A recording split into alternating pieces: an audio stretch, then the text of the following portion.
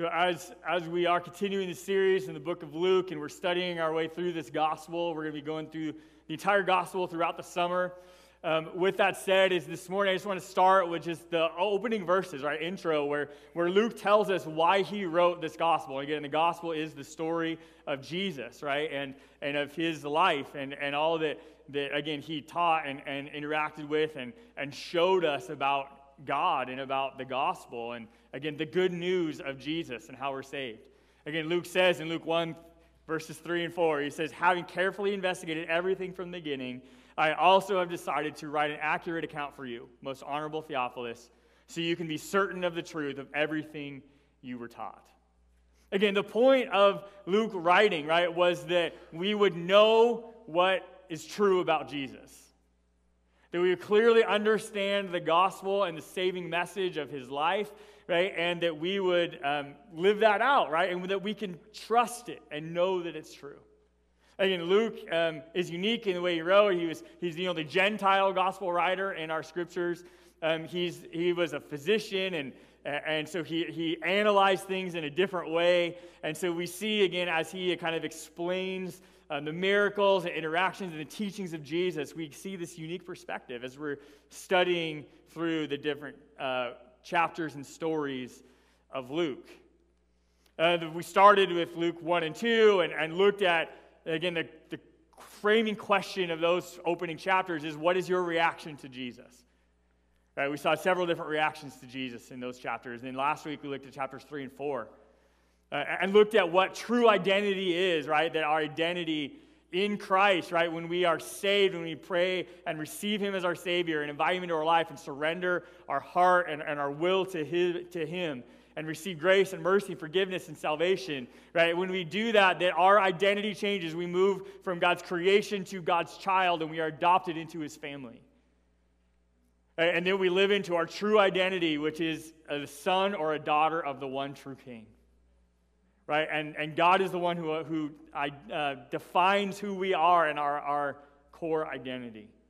And now, as we move in this week to Luke chapters 5 and 6, we, we move into now, truthfully, we start to see kind of the meat of the gospel. I mean, these, these first four chapters were really intro, kind of, kind of, you know, introducing us to John the Baptist and to Jesus and the birth narratives and the, the genealogies and just kind of all these things. And now we get to some real uh, interactions with Jesus, right, in his public ministry.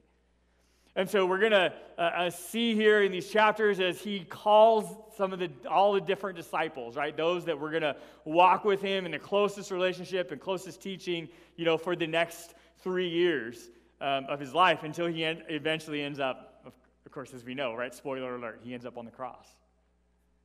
Right? And, and yet, we, we learn so much from Jesus about the kingdom of God and about the things of, uh, of God's character and, and what it means to follow Him and, and to truly be saved and be transformed by God's Spirit throughout um, you know, His teachings. And so, but we're going to, again, look at, at um, Luke chapter, chapter 5. We're going to start here in uh, verses 1 through 11 as we look at the calling of Simon Peter. And again, this last year, we, we looked at our Easter series this last year, looked at Peter, right, and learned a lot about him and, and the way that, that Jesus anoints him and, and uses him in many different ways. But here we see, right, the, the first, first interactions between Peter and Jesus. So if you have a Bible with you, I invite you to open with me to Luke chapter 5. Uh, if you're with us in person and don't have your own Bible or Bibles provided for you in the seats, you're welcome to use. You'll notice the page numbers there where you can find it in those Bibles. If you're with us online, you can grab your Bible as well or just listen as I read it. But we're going to read uh, Luke chapter 5, uh, verses 1 through 11, where it says, One day, as Jesus was preaching on the shore of the Sea of Galilee, great crowds pressed in on him and, and to listen to the word of God. And he noticed two empty boats at the water's edge, for the fishermen had left them and were washing their nets. Stepping into one of the boats, Jesus asked Simon, its owner, to push it out into the water. So he sat in the boat and taught the crowds from there. When he had finished speaking, he said to Simon, Now go out where it is deeper and let down your nets to catch some fish. Master, Simon replied, We worked hard all last night and didn't catch a thing. But if you say so, I'll let the nets down again. And this time their nets were so full of fish they began to tear. A shout for help brought their partners in the other boat, and soon both boats were filled with fish and on the verge of sinking. When Simon Peter realized what had happened, he fell to his knees before Jesus and said, "O Lord, please leave me. I'm too much of a sinner to be around you." For he was awestruck by the number of fish that they had been caught, as were the others with him. And his partners, James and John, sons of Zebedee, were also amazed. And Jesus replied to Simon, Don't be afraid. From now on, you'll be fishing for people. And as soon as they landed, they left everything and followed Jesus. And now, as we see, again, this, this story, right, this interaction, this, this miracle, right, that happens um, with Jesus as he's teaching, you know, the crowds. He's already attracted crowds. There, there are, he's already to this place where he's having to kind of manage it, right, and they're kind of pressing in on him. And, and yet, Jesus is moving forward in his first task, right, in his public ministry, and that is to gather his disciples.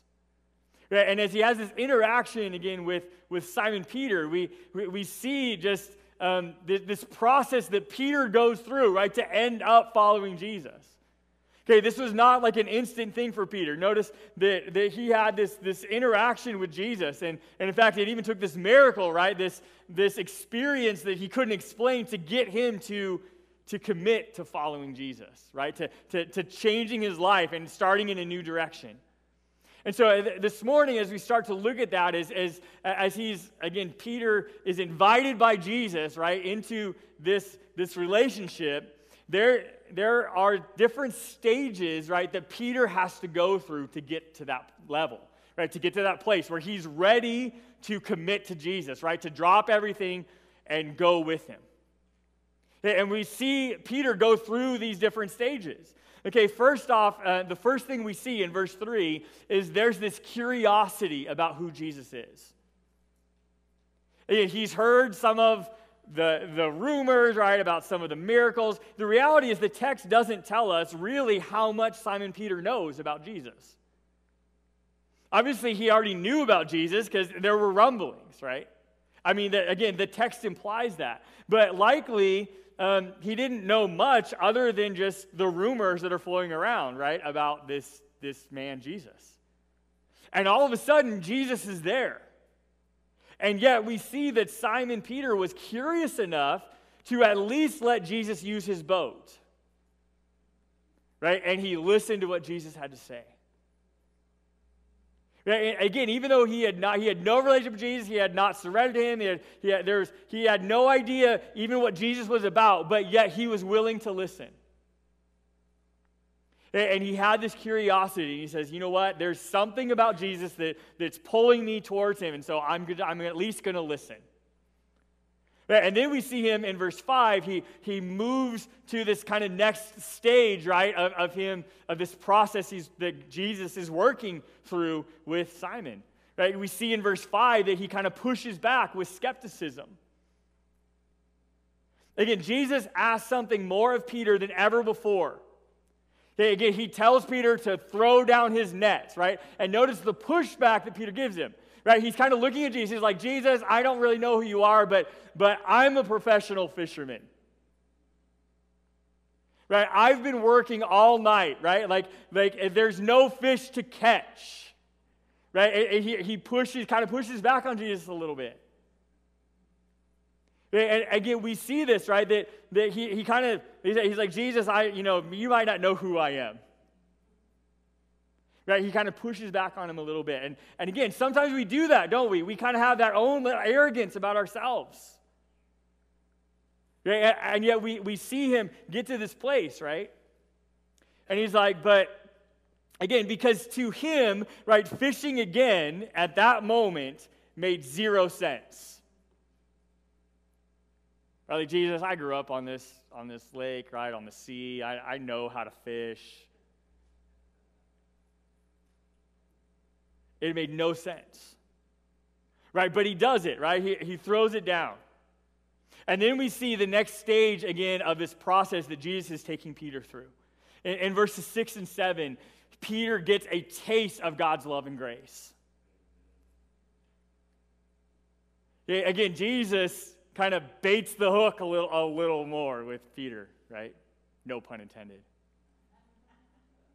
right? And, and he gets to say, right? Because here's there's, there's this miraculous catch. I mean, and it's truly a miraculous catch, right? I mean, so much, right, that it filled two boats to the point where the boats were, were almost sinking. Right? Now, again, remember that, that Peter and his buddies, right, and his partners are professional fishermen. Okay, there, there is money to be made with a big catch. In fact, it was their livelihood. I, I don't know if you have um, watched um, the um, anything. There's this this app called The Chosen, and if you haven't watched it, I encourage you to download it. Watch it. It's free. It's it's crowd crowdfunded. You can watch it, and it's the story. It's I want to think the better like dramatically told you know stories of Jesus I've ever seen. And, again, in the chosen, it kind of sets this up, all right, and to where, and it, kind of sets up the story where Peter is like in financial trouble, right, and he's really struggling, and yet, and then Jesus bails him out with his miracle. Okay, now again, the, the text here, especially in Luke, it doesn't, it doesn't give us any of the backstory. Okay, but, but we know that this miraculous catch was worth a lot of money. Yeah, and this and this is a lot of money and resources, right, that Peter hadn't earned.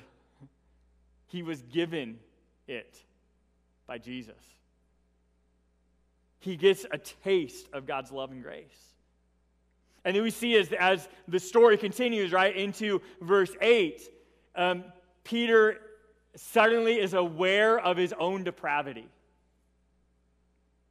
We see an awareness of his own depravity. Now, depravity, this is a word, this is a scholarly word. And so, but I, I give it to you to say that I think this is the best word to describe what happens here with Peter. Okay, this, what this word depravity, this theological term means, right, is, is the, the fact that we fall short of God's glory. It's, it's, the depravity is the realization that, that God is God and He is holy and I'm not. I fall short of that standard.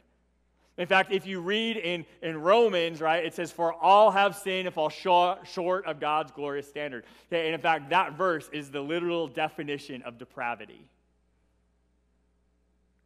Yeah, in this, in this moment, and we see, right, where, where Peter literally makes a, a, a huge turn in his perspective, in his attitude, in his interaction with Jesus, right? I mean, literally just moments before he's pushing back on Jesus in a little bit of arrogance, right? About, okay, Jesus, I mean, I'm the, I'm the fisherman, like you're not, and but if, if you tell me to fit, whatever, right? And then and now he gets a complete turn, right? To where now he's saying, Jesus, I am not worthy to be in your presence. Right? And not only does he realize the power and the holiness of, of Jesus, right? And, and, and that, that God is embodied in him as the Messiah, but he also realizes how, fall, how, how he falls short of that and he's not worthy to be there.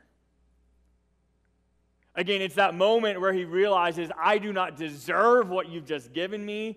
And, and, in fact, it would be more comfortable for me if you would just leave.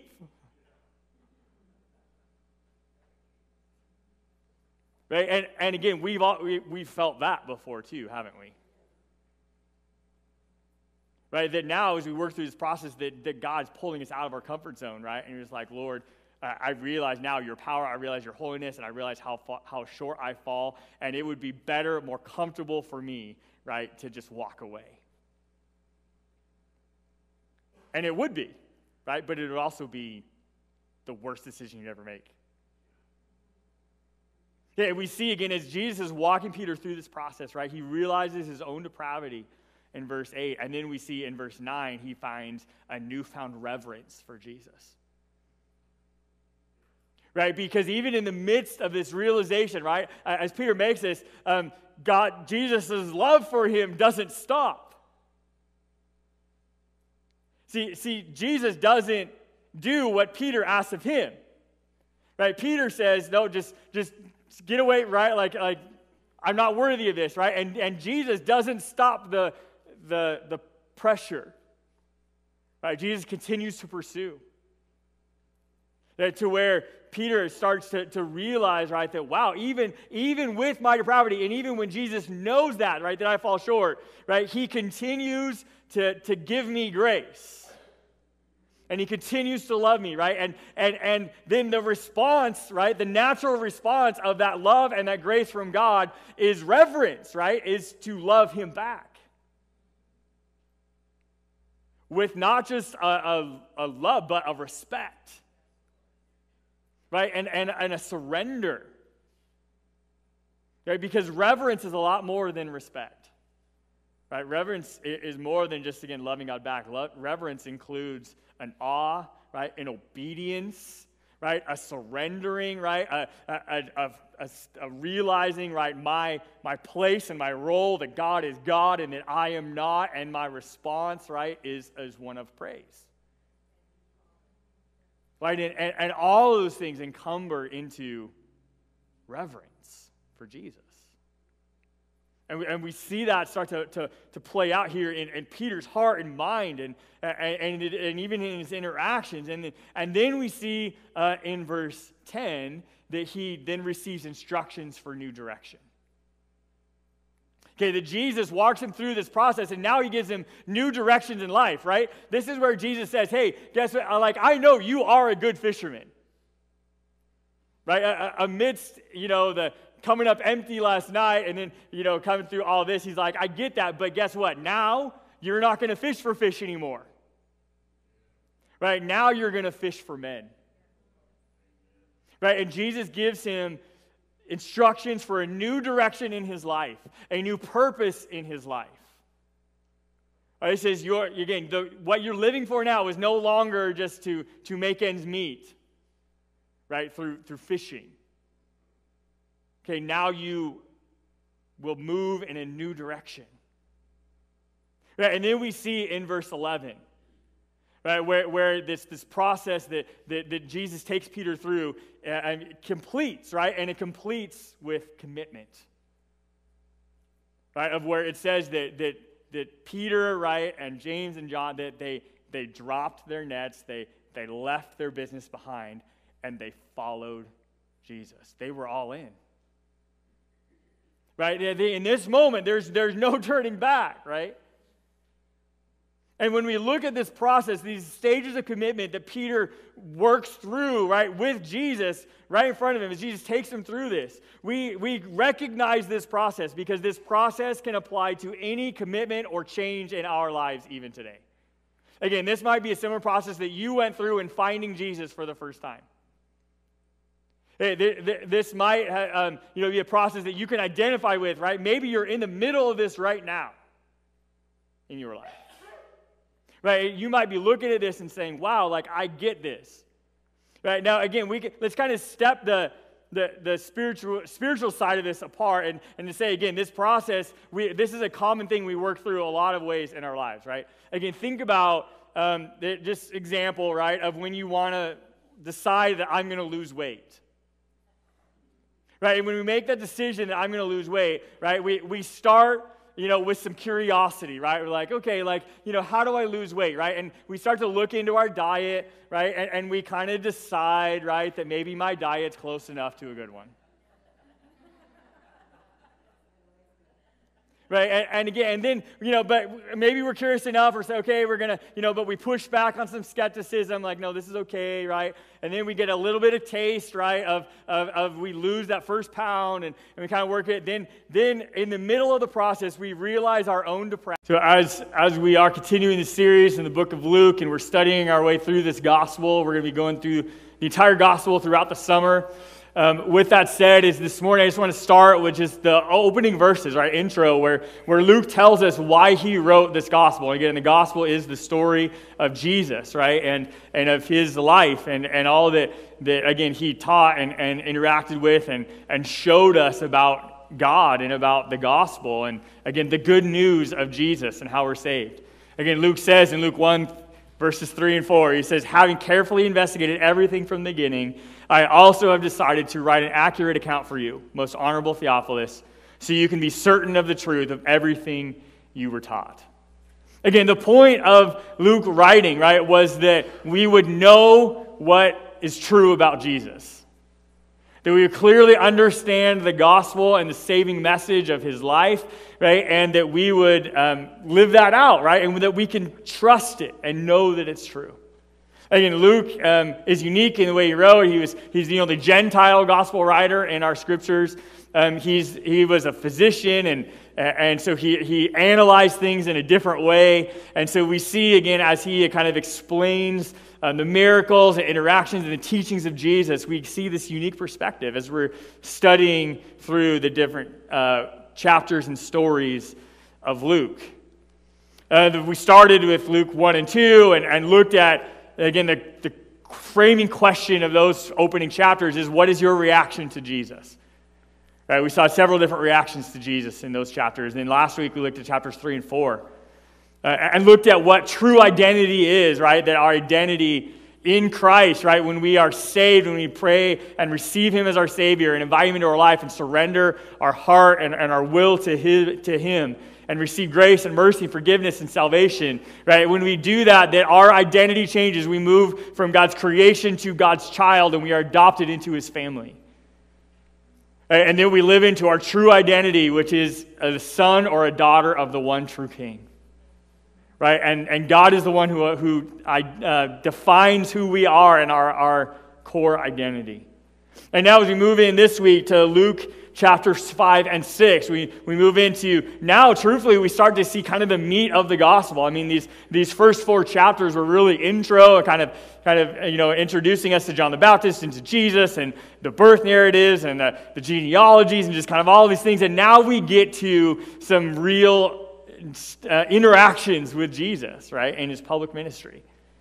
And so we're going to uh, uh, see here in these chapters as he calls some of the all the different disciples, right? Those that we're going to walk with him in the closest relationship and closest teaching, you know, for the next three years um, of his life until he en- eventually ends up, of, of course, as we know, right? Spoiler alert, he ends up on the cross.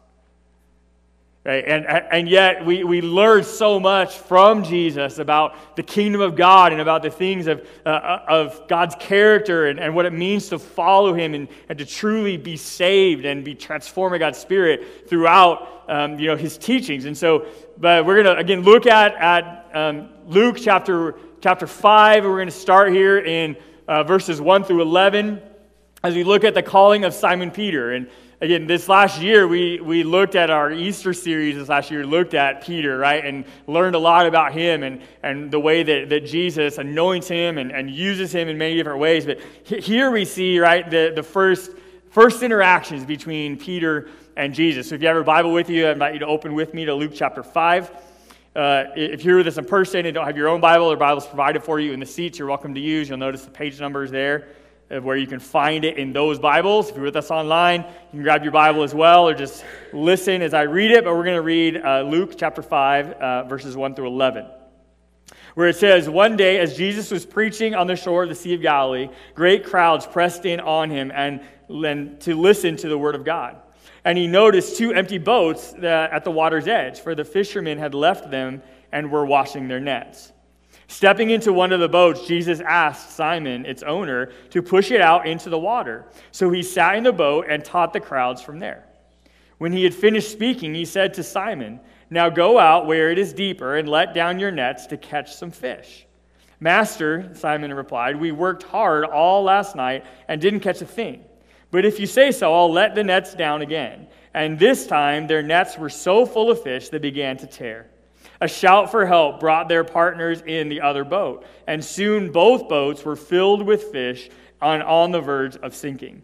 When Simon Peter realized what had happened, he fell to his knees before Jesus and said, Oh Lord, please leave me. I'm too much of a sinner to be around you. For he was awestruck by the number of fish that they had been caught, as were the others with him. And his partners, James and John, sons of Zebedee, were also amazed. And Jesus replied to Simon, Don't be afraid. From now on, you'll be fishing for people. And as soon as they landed, they left everything and followed Jesus. And now, as we see, again, this, this story, right, this interaction, this, this miracle, right, that happens um, with Jesus as he's teaching you know, the crowds, he's already attracted crowds. There, there are, he's already to this place where he's having to kind of manage it, right? And they're kind of pressing in on him. And, and yet, Jesus is moving forward in his first task, right, in his public ministry, and that is to gather his disciples. Right? And as he has this interaction again with, with Simon Peter, we, we, we see just um, this, this process that Peter goes through, right, to end up following Jesus. Okay, this was not like an instant thing for Peter. Notice that, that he had this, this interaction with Jesus. And, and in fact, it even took this miracle, right? This, this experience that he couldn't explain to get him to, to commit to following Jesus, right? To, to, to changing his life and starting in a new direction. And so this morning, as we start to look at that, as, as, as he's, again, Peter is invited by Jesus, right, into this, this relationship, there, there are different stages, right, that Peter has to go through to get to that level, right, to get to that place where he's ready to commit to Jesus, right, to drop everything and go with him. And we see Peter go through these different stages. Okay, first off, uh, the first thing we see in verse 3 is there's this curiosity about who Jesus is. He's heard some of the, the rumors, right, about some of the miracles. The reality is the text doesn't tell us really how much Simon Peter knows about Jesus. Obviously, he already knew about Jesus because there were rumblings, right? I mean, the, again, the text implies that. But likely, um, he didn't know much other than just the rumors that are flowing around, right, about this, this man, Jesus. And all of a sudden, Jesus is there. And yet, we see that Simon Peter was curious enough to at least let Jesus use his boat. Right? And he listened to what Jesus had to say. Again, even though he had, not, he had no relationship with Jesus, he had not surrendered to him, he had, he, had, there was, he had no idea even what Jesus was about, but yet he was willing to listen. And he had this curiosity. He says, you know what? There's something about Jesus that, that's pulling me towards him, and so I'm, going I'm at least going to listen. And then we see him in verse 5, he, he moves to this kind of next stage, right, of, of him, of this process that Jesus is working through with Simon. Right? We see in verse 5 that he kind of pushes back with skepticism. Again, Jesus asks something more of Peter than ever before. Okay, again, he tells Peter to throw down his nets, right? And notice the pushback that Peter gives him. Right? He's kind of looking at Jesus. He's like, Jesus, I don't really know who you are, but, but I'm a professional fisherman. Right? I've been working all night, right? Like, like there's no fish to catch. Right? And he, he pushes, kind of pushes back on Jesus a little bit. And again, we see this, right? That, that he, he kind of, he's like, Jesus, I, you know, you might not know who I am. Right? He kind of pushes back on him a little bit. And, and again, sometimes we do that, don't we? We kind of have that own arrogance about ourselves. Right? And yet we, we see him get to this place, right? And he's like, but again, because to him, right, fishing again at that moment made zero sense. Right, Jesus, I grew up on this on this lake, right, on the sea. I, I know how to fish. It made no sense. Right? But he does it, right? He, he throws it down. And then we see the next stage again of this process that Jesus is taking Peter through. In, in verses 6 and 7, Peter gets a taste of God's love and grace. Again, Jesus kind of baits the hook a little, a little more with Peter, right? No pun intended right? And, and he gets this state, right? Because here's there's, there's this miraculous catch. I mean, and it's truly a miraculous catch. Right? I mean, so much, right, that it filled two boats to the point where the boats were, were almost sinking. Right? Now, again, remember that, that Peter and his buddies, right, and his partners are professional fishermen. Okay, there, there is money to be made with a big catch. In fact, it was their livelihood. I, I don't know if you have um, watched um, the um, anything. There's this this app called The Chosen, and if you haven't watched it, I encourage you to download it. Watch it. It's free. It's it's crowd crowdfunded. You can watch it, and it's the story. It's I want to think the better like dramatically told you know stories of Jesus I've ever seen. And again, in the chosen, it kind of sets this up, right, and to where, and it kind of sets up the story where Peter is like in financial trouble, right? And he's really struggling, and yet, and then Jesus bails him out with his miracle. Okay, now again, the, the text here, especially in Luke, it doesn't, it doesn't give us any of the backstory. Okay, but, but we know that this miraculous catch was worth a lot of money. Yeah, and this and this is a lot of money and resources, right, that Peter hadn't earned. He was given it by Jesus. He gets a taste of God's love and grace. And then we see as, as the story continues, right, into verse 8, um, Peter suddenly is aware of his own depravity. Okay, we see an awareness of his own depravity. Now, depravity, this is a word, this is a scholarly word. And so, but I, I give it to you to say that I think this is the best word to describe what happens here with Peter. Okay, this, what this word depravity, this theological term means, right, is, is the, the fact that we fall short of God's glory. It's, it's, the depravity is the realization that, that God is God and He is holy and I'm not. I fall short of that standard. In fact, if you read in, in Romans, right, it says, For all have sinned and fall short, of God's glorious standard. Okay, and in fact, that verse is the literal definition of depravity. Yeah, in this, in this moment, and we see, right, where, where Peter literally makes a, a, a huge turn in his perspective, in his attitude, in his interaction with Jesus, right? I mean, literally just moments before he's pushing back on Jesus in a little bit of arrogance, right? About, okay, Jesus, I mean, I'm the, I'm the fisherman, like you're not, and but if, if you tell me to fit, whatever, right? And then and now he gets a complete turn, right, to where now he's saying, Jesus, I am not worthy to be in your presence. Right? Not only does he realize the power and the holiness of, of Jesus, right? And, and, and that, that God is embodied in him as the Messiah, but he also realizes how, fall, how, how he falls short of that. And he's not worthy to be there. Again, it's that moment where he realizes, I do not deserve what you've just given me. And, and in fact, it would be more comfortable for me if you would just leave. Right? And, and again, we've, all, we, we've felt that before too, haven't we? Right? That now, as we work through this process, that, that God's pulling us out of our comfort zone, right? And just like, Lord, I realize now your power, I realize your holiness, and I realize how, fa- how short I fall, and it would be better, more comfortable for me, right, to just walk away. And it would be, right? But it would also be the worst decision you'd ever make.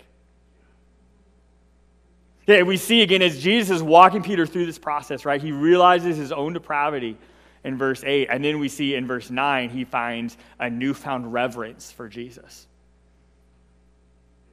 Right? Because even in the midst of this realization, right, as Peter makes this, um, God, Jesus' love for him doesn't stop. See, see, Jesus doesn't do what Peter asks of him. Right? Peter says, no, just, just get away, right? Like, like I'm not worthy of this, right? And, and Jesus doesn't stop the, the, the pressure, right? Jesus continues to pursue.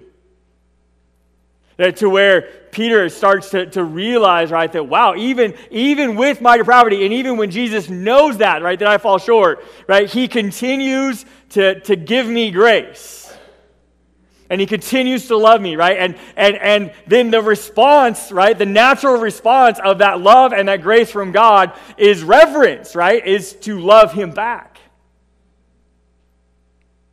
With not just a, a, a love but a respect. Right? And, and and a surrender. Right? Because reverence is a lot more than respect. Right? Reverence is more than just, again, loving God back. reverence includes an awe, right? An obedience, right? A surrendering, right? A, a, a, a, realizing, right? My, my place and my role that God is God and that I am not. And my response, right, is, is one of praise. Right? And, and, and all those things encumber into reverence for Jesus. And we, and we see that start to, to, to play out here in, in Peter's heart and mind and, and, and, and even in his interactions. And, and then we see uh, in verse 10 that he then receives instructions for new direction. Okay, that Jesus walks him through this process and now he gives him new directions in life, right? This is where Jesus says, Hey, guess what? Like, I know you are a good fisherman. Right? Amidst, you know, the, coming up empty last night and then, you know, coming through all this, he's like, I get that, but guess what? Now you're not going to fish for fish anymore. Right? Now you're going to fish for men. Right? And Jesus gives him instructions for a new direction in his life, a new purpose in his life. Right, it says, you're, again, the, what you're living for now is no longer just to, to make ends meet, right, through, through fishing. Okay, now you will move in a new direction. Right, and then we see in verse 11, right, where, where this, this process that, that, that Jesus takes Peter through uh, and completes, right, and it completes with commitment. Right, of where it says that, that, that Peter, right, and James and John, that they, they dropped their nets, they, they left their business behind, and they followed Jesus. They were all in. Right? In this moment, there's, there's no turning back, right? And when we look at this process, these stages of commitment that Peter works through, right, with Jesus right in front of him, as Jesus takes him through this, we, we recognize this process because this process can apply to any commitment or change in our lives even today. Again, this might be a similar process that you went through in finding Jesus for the first time. This might um, you know, be a process that you can identify with, right? Maybe you're in the middle of this right now in your life. Right? You might be looking at this and saying, wow, like I get this. Right? Now, again, we can, let's kind of step the, the, the spiritual, spiritual side of this apart and, and to say, again, this process, we, this is a common thing we work through a lot of ways in our lives, right? Again, think about um, the, just example, right, of when you want to decide that I'm going to lose weight right? And when we make that decision that I'm going to lose weight, right, we, we start, you know, with some curiosity, right? We're like, okay, like, you know, how do I lose weight, right? And we start to look into our diet, right? And, and we kind of decide, right, that maybe my diet's close enough to a good one.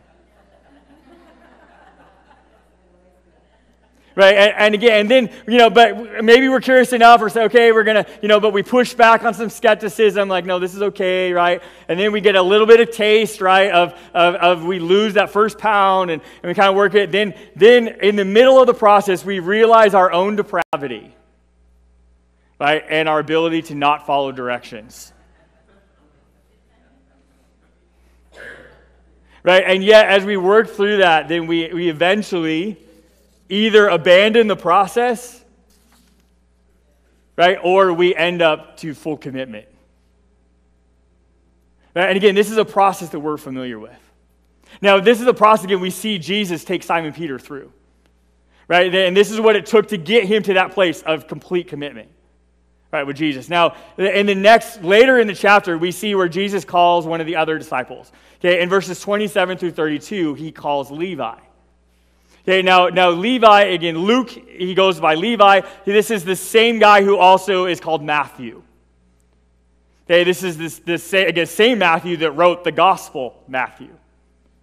Okay, and so we see here where Jesus um, calls him as a disciple. And now, this interaction with Jesus is completely different than Simon Peter's. Okay, in Luke 5, verse, starting at verse 27. Okay, where he says, Later, as Jesus left the town, he saw a tax collector named Levi sitting at his tax collector's booth. Follow me and be my disciple, Jesus said to him. So Levi got up, he left everything and followed him. And later, Levi held a banquet in his home with Jesus as the guest of honor.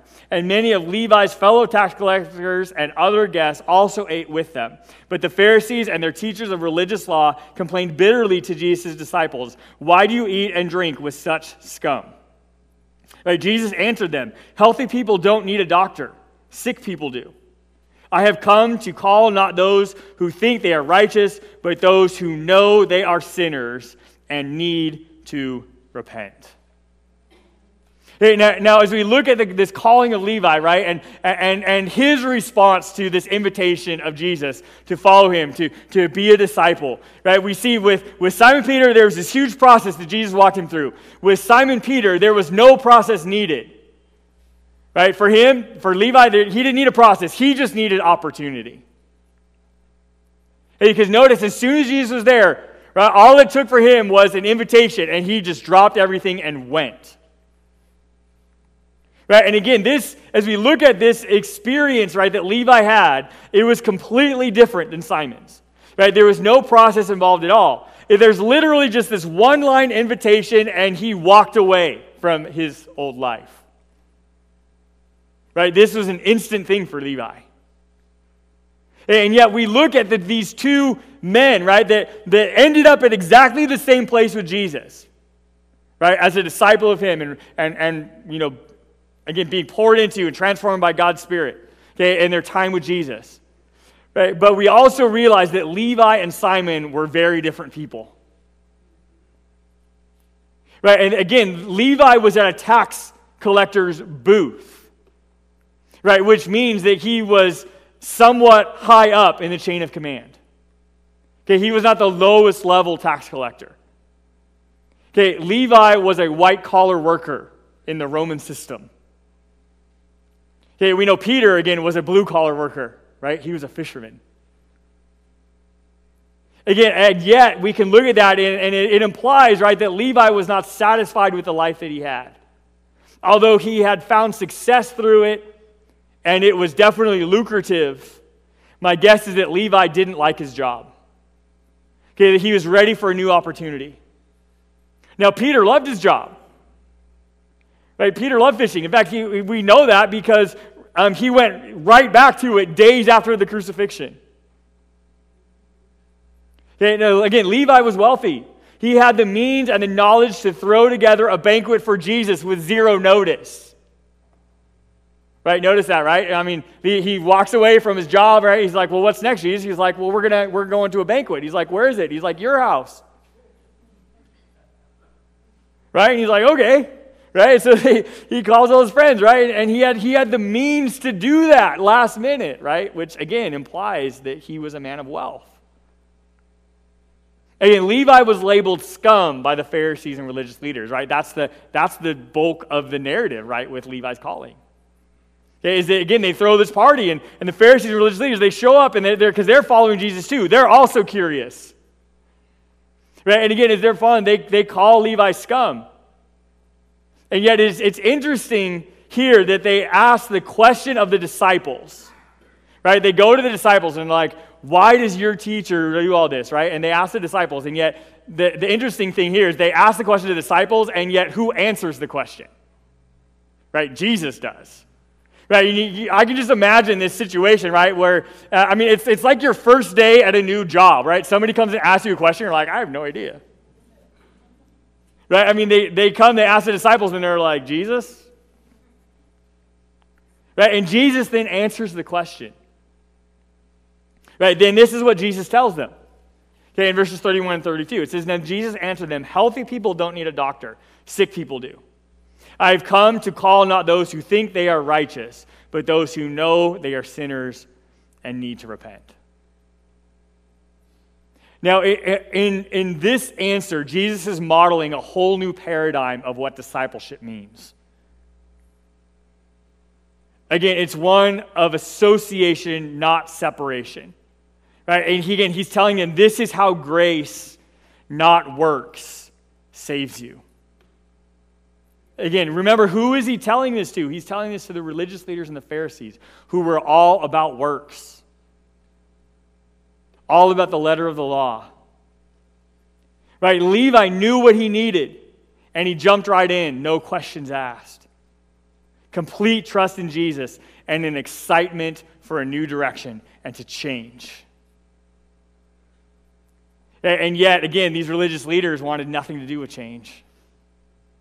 Right? Again, Jesus is telling them, He's like, No, I have come to save those that want to be saved. Right? And that's the same mission that Jesus has today. That mission has not changed.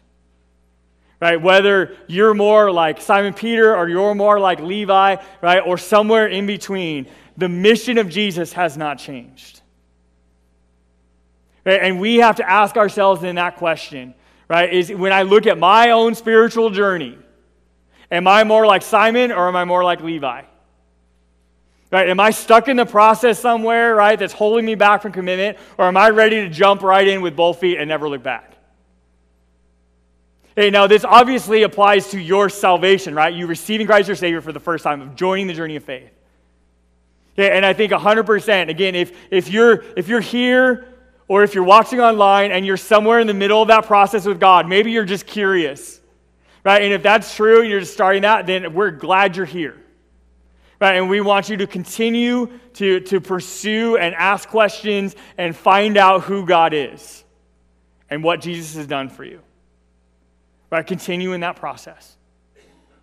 If, if maybe you're in that process, right? Or maybe you're not. Maybe you're hearing the gospel, you're, you're hearing just like Levi, and you're ready to jump in. And if you're ready to jump in, then, then, then today's the day of salvation. Right? And, and you, can, you can pray and receive Christ as your Savior and invite Him into your life and receive His love and grace and mercy and forgiveness today. Right? But it's not just about salvation. We also have to ask this question, right? Because this is true with every change in our life. As, as, God continues to transform our heart and our mind and change the way we think, and, and, and as we move forward in our faith and, and become more like Christ tomorrow than we are today, is, is this same thing is true, right? Either we're ready for the change and we'll jump right in, or we kind of push back on Jesus a little bit, don't we? But God, I'm willing to, to, you know, to go this far, but, but not that. Right? I'm not willing to sacrifice that part of my life, right? Or that habitual sin, or that attitude, or that platform, or fill in the blank. Right? And the reality is that God is asking you to move forward in your faith. Just like he pursued the disciples, he's pursuing you. Right? And he's inviting you to a new life. Right? And that's true whether you are a believer or not yet a believer in Jesus. He's inviting you to be more like him, to submit to his power, to his spirit, to his love, and his grace. And he wants to transform your heart. And the reality we learn in 1 Corinthians 12 6, right? That God works in different ways but it's the same God who does the work in all of us. Again, my spiritual journey is going to look different than yours. Right? But it's the same God. Right? Again, Jesus is the destination of all of our spiritual journeys. Again, what hangs me up it might be different than what hangs you up in your spiritual journey. Right? But it's the same God. Right? And his power is at work in you. And we see um, later in Luke chapter 6, uh, verses 12 uh, through 16 is where we learn who makes the cut. Right? It's literally the most exhaustive list in all of Scripture of the 12 disciples. Yeah, but I, I, just want to, though, look at that. Um, again, Luke 6, look at verse 12. It says, One day soon afterwards, Jesus went up on a mountain to pray, and he prayed to God all night.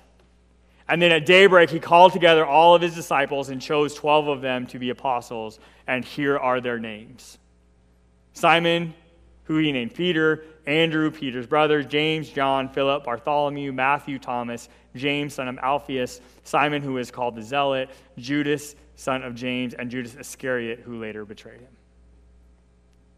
Right, and there's the ones that made the cut, right? Those are the ones that, that Jesus calls. But the interesting thing about this passage, right, is, is Jesus' final step. Right? Did you notice, again, at the beginning, verse 12, right, that Jesus prayed before making a final decision? He didn't just, you know, hey, Lord, will you show me? No, he says he prayed all night. Right? I mean, Jesus knew the weight of this decision. Right? And so, again, this is again where Jesus models for us what it looks like to, to truly be surrendered to God. Right? In every decision we make, we need to pray. Again, we realize, right, that there were more options, obviously, right, than the 12 that Jesus called. Again, just as we saw with Simon and Levi, this is a mixed bag of guys.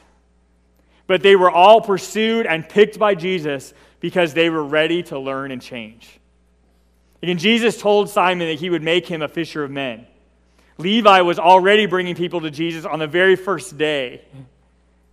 Different styles, different personalities, same mission.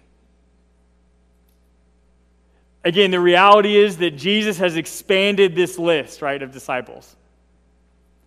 And in fact, that was exactly the point, right, was to expand this list of disciples for God's will is to save the world. Right? Is that every person will be on this list of disciples. And that's exactly what, what Jesus did, right? As he passed the baton on to the apostles and eventually on to us through the Great Commission. Again, same God, same purpose, same mission. And it's still true today. Matthew 28, 18 through 20. Jesus came and told his disciples, I have been given all authority in heaven and on earth. Therefore, go and make disciples of all nations, baptizing them in the name of the Father, Son, and the Holy Spirit. Teach these new disciples to obey all the commands I've given you. And be sure of this I'm with you always, even to the end of the age. Again, this mission has not changed. Right? And that is still, if you are a follower of Jesus, this is still your mission. This is our mission as the church. Right? And again, to make disciples. Right? That's what Jesus did here with his 12, right? That's what we learn about all of those things, and that's exactly what we're still supposed to be doing today. And so, again, if, if you have never received Christ as your Savior, I want you to know today, right, that God loves you that God is pursuing you and He's inviting you to a new life. If you have received Christ as your Savior, then God is still loving, He's still pursuing you, and He's still inviting you to a new life of transformation as you continue to grow and move forward in your faith journey. Right? And are you doing what God's telling you to do? Are you, are, you, are you dropping your nets? Are you leaving the booth? Right? Are, are you taking action in your faith and in fulfilling the Great Commission? So, is my final thought this morning, and that is this You are being pursued and picked by Jesus. Right? No matter where you are in your life, that is true. You are being pursued and picked by Jesus. Whether you need a long process or a one time invitation, God wants to save you and to change you. What's the next step of your journey? Again, whatever the next step of your journey is, I encourage you to take it. Commit to that step today. If that's a step of salvation, then pray and, and invite God into your life and receive Him as your Savior. Right? If it's just a step of obedience and discipleship and transformation, then take that step. But whatever the step in your faith journey is, take it. Follow through. Drop your nets. Leave the booth. Lord God, we praise you God, that your power is at work in our lives and in our world. God, we praise you, God, that we can walk with you.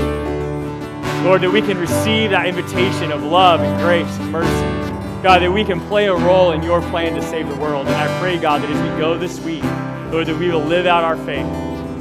God, that we won't get caught up, Lord, in our own depravity or, or in our own hesitancy, God but we will be obedient to you. We will follow through, God, and we will be more like you every day as we grow in our faith and as we just embrace your love and grace and mercy and provision. God, as we go this week, help us to shine your light and your love in our world. Help us represent you well in all we do as we continue to grow and be transformed by your Spirit. God, we love you. We praise you for loving us for saving us. Guide us as we go this week. In Jesus' name.